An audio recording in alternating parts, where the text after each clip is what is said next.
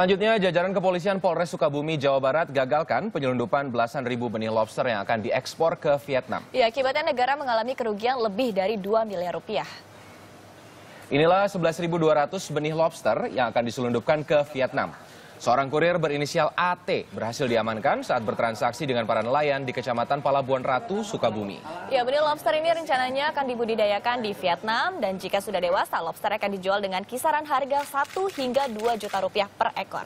Akibatnya penyelundupan ini, negara diduga mengalami kerugian lebih dari 2 miliar rupiah.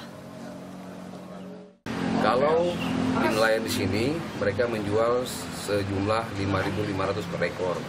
Tetapi ketika nanti diekspor atau diekspor secara ilegal, itu harganya bisa jadi 250.000 sampai di 300.000 per ekor. Terutama tujuannya adalah negara Vietnam.